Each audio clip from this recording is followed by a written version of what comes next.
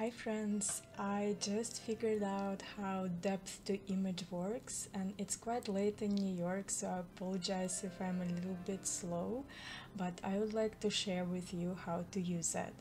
So uh, first of all, it's not a part of web UI user interface, so we will have to kind of install it and use it separately with depth to image and I'm pretty sure this is going to change quite soon. But at first I would like to show you what it actually is.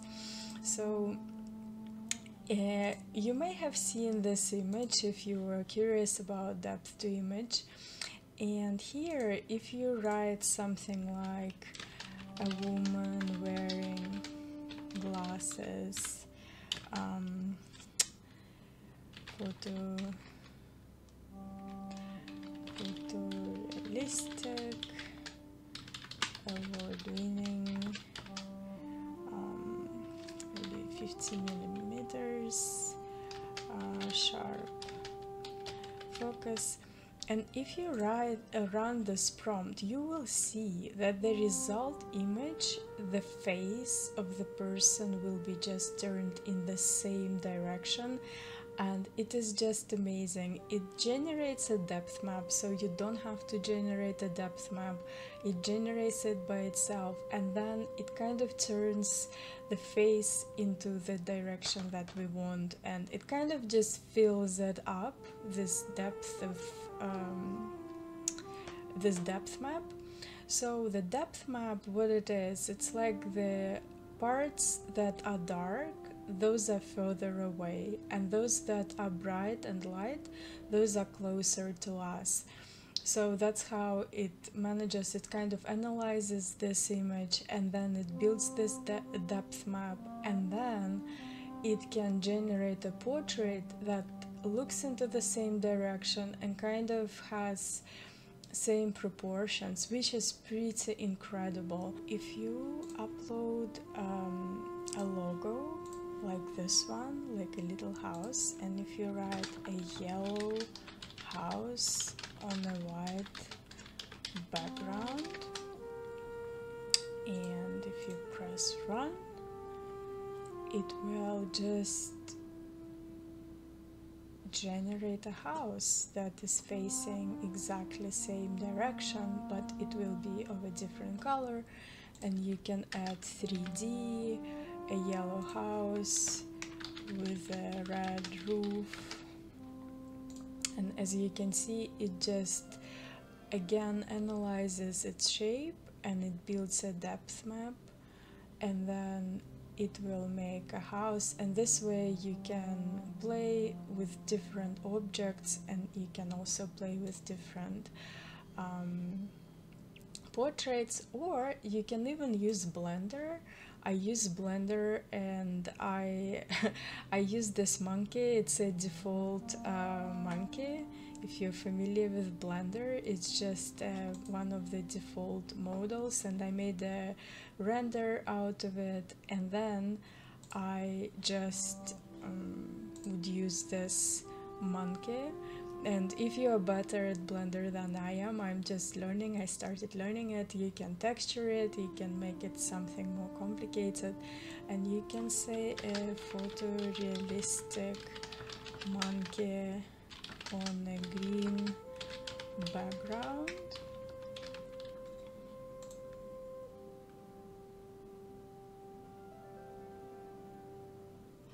Well, this is not very photorealistic, so I probably will say a monkey. Um,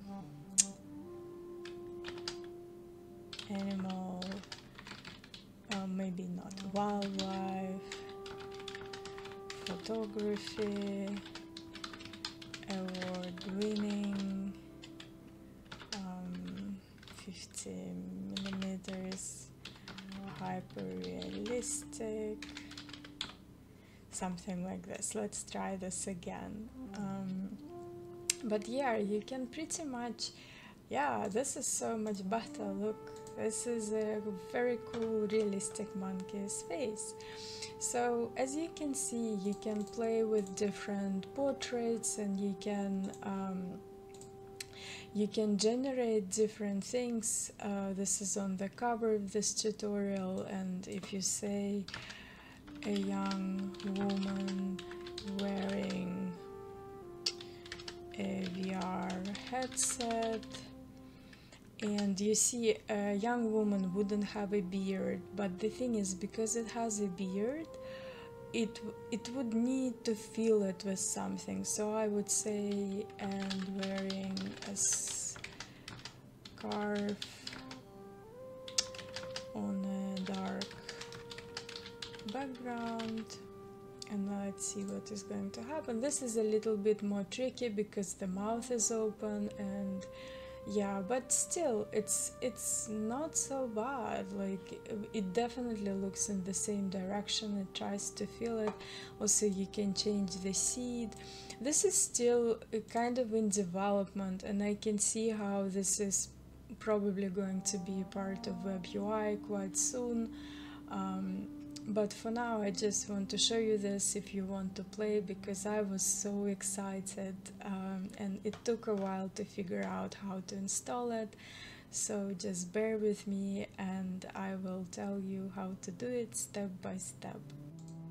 So to make it easier for you, I made a helper for you on my webpage, uh, kris.art slash helpers, and this is this one and if you click it first you need to install anaconda which is an environment for python. It makes it so much easier. Just press download and wait for a couple of uh, seconds. Um, and here it is it downloaded. And I'll just press open. And I'll just install it. And everything is by default. So you just um, press it all and wait for it. Okay, it completed the installation. You just need to press next and next. And over here, just um, uncheck those two um, things and press finish. So, and then go back to Kris Helpers and they'll be the next step. So now we installed uh, Anaconda which is going to help us a lot and we are going to install stable diffusion. And even if you have stable diffusion and you're using web UI you'll still need this one like separately. So uh, if you don't have github account definitely um, sign up for it and go to code and download zip and then you will just need extract 2 and here make sure uh, if you follow this tutorial you just select C no other uh, no other folders and just press OK um, because it's going to create um, a folder and uh, everything I, I wrote in helper it's going to be this folder stable diffusion main it unzips in this folder. So make sure that there is nothing else. It's like all those folders. Because previously when I was doing it I created this folder and then it had two folders which were the same. And it made me it made it really hard to write uh, code.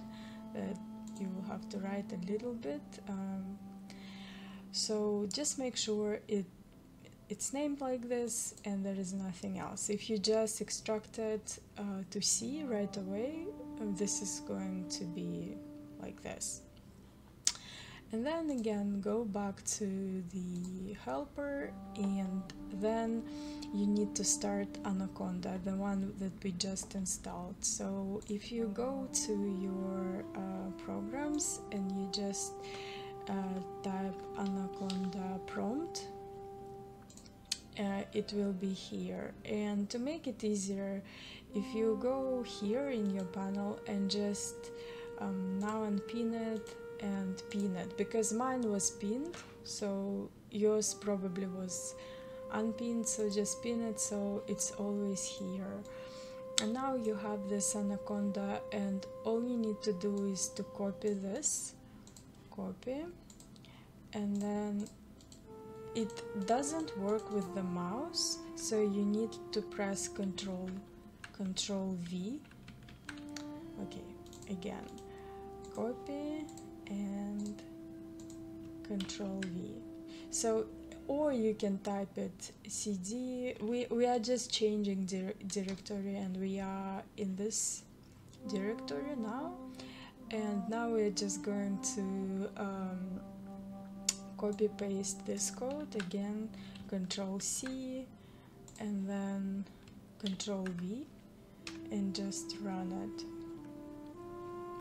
And all of this you can read if you go to this uh, link.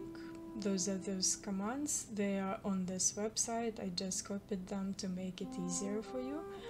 And it's going to install all these different things it needs and the versions that it needs. And that's very convenient because if for example you have different versions of those things it doesn't matter because it it will just uh, create an environment that has all the versions it, it needs. And we will be able to activate it to activate this particular environment and not worry that which version of each product we have I think it's absolutely amazing. Okay now it's installed and it would tell you to activate this environment use conda activate LDM which is exactly what we are going to write. We'll just write conda activate LDM and here we are. So this is this, this is um, where we are. I think it, it it has done it before but uh, because I'm so sleepy I did it again. And it's okay because until we deactivate it this environment will be activated. So next thing we need to do is update stable diffusion for version number two. So for this we will just copy these three um, commands. And again control C and we'll go to this and control V and just press enter?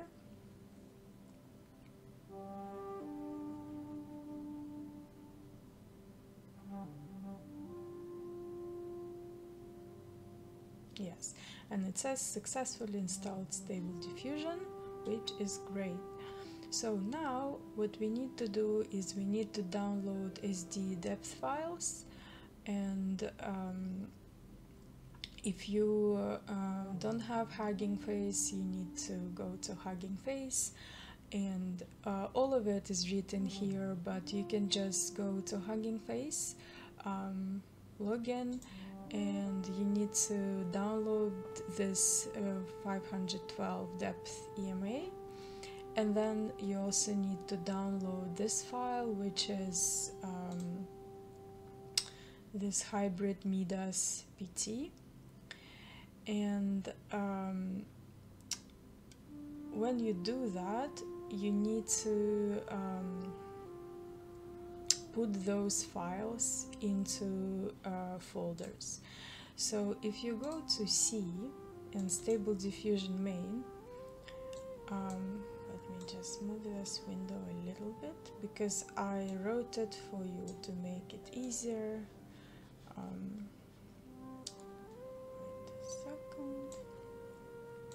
okay so it says download uh, this uh, 512 depth EMA uh, to stable diffusion. Like you need to create this um, folder models. So if you go to stable diffusion main you create new folder call it models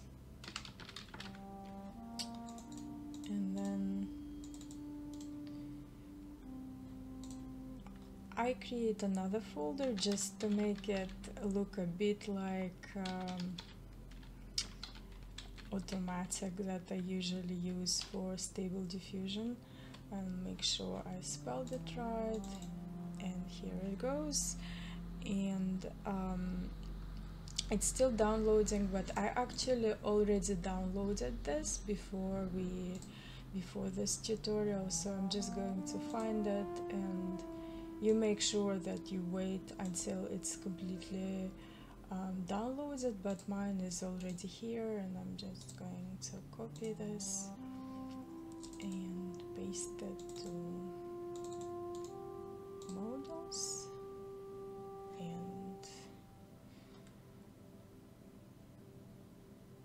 yeah I already downloaded it before so this one that is downloading it's a it's just a duplicate. I'm going to just stop it because I just wanted to show you that it downloads.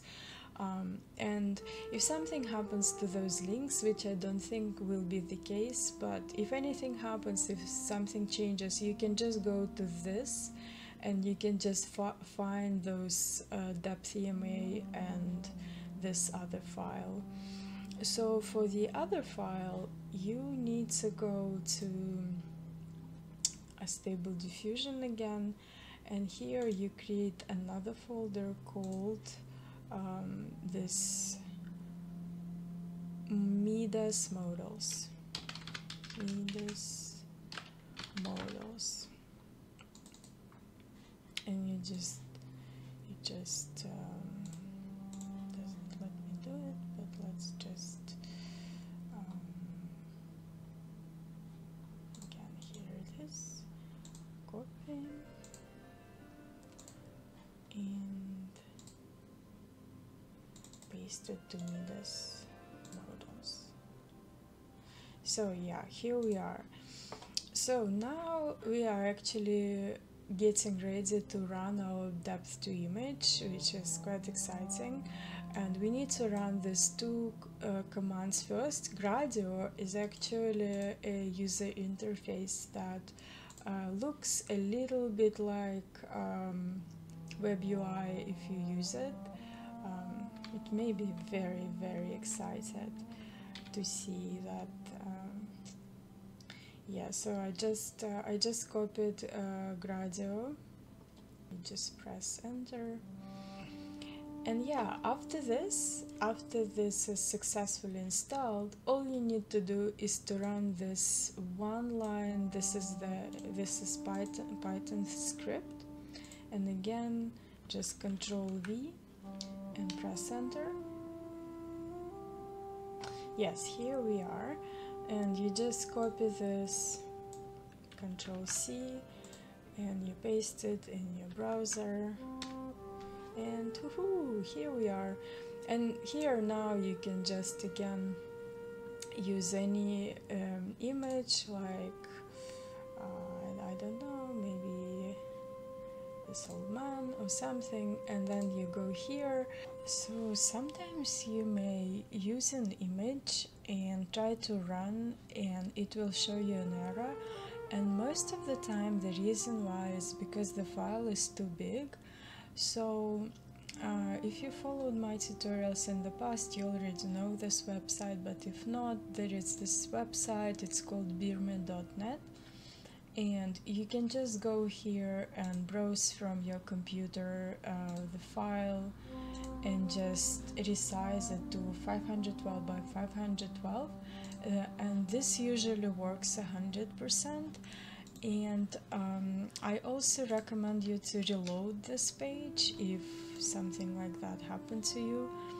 And just yeah just drag this new file that you created and maybe um, say something like uh, princess green background or painting make sure to open this and um, seed you have to set it up yourself it's not automatic uh, just yet and uh, just press run and this shall work. Uh, it happened to me a few times and I noticed that if I make my image uh, smaller it usually works. I hope it was helpful and hope you create a lot of things and just experiment. Oh, this is just really funny. And have a lovely day and I'll talk to you soon.